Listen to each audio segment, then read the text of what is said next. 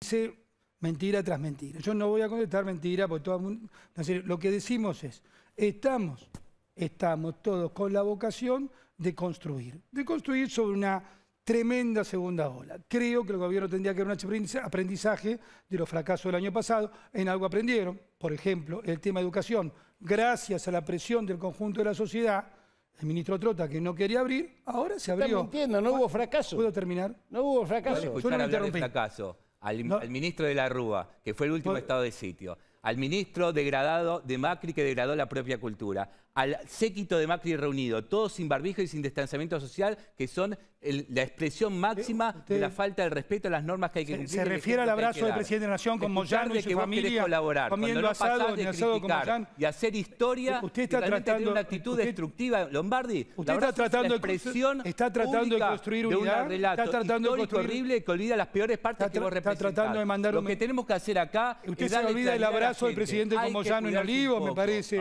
sin barbijo, Lombardi. intendente. Hay que- hay parece que- que se olvida de algo. que Yo no quise traer esta, esta virulencia de la charla que ustedes clara. introducen, mi querido ¿Querés amigo. colaborar? Deja de decir pavadas, porque tu Ah, gobierno... me- pero usted- pero usted el- colaborar El gobierno es ser fue el que sacó una la vacuna de la una- meningitis. una autocracia El gobierno de para ustedes usted- fue el que achicó el programa Remediar. Entonces, la verdad, no es cuestión de hacer una- un relato equivocado. histórico Va- falaz, vamos a escucharlo, sino ser claro con la gente. La gente lo que necesita es saber qué va a pasar. Estamos pidiendo tres semanas de autocontención social y de un Estado que va a regular. Que ese Estado además se compromete a ayudar a los sectores que van a ser perjudicados, que nadie quiere cerrar, pero que esencialmente queremos cuidar un valor que se llama la vida. La vida de los argentinos con una cantidad de vacunas. Y un dato más.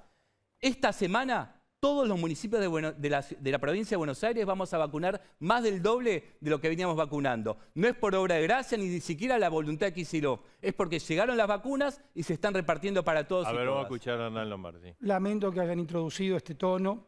Me parece que en este momento la gente está angustiada. Usted introdujo este tono, usted introdujo este tono. Yo no voy a Y vos entrar sos en un ese- provocador.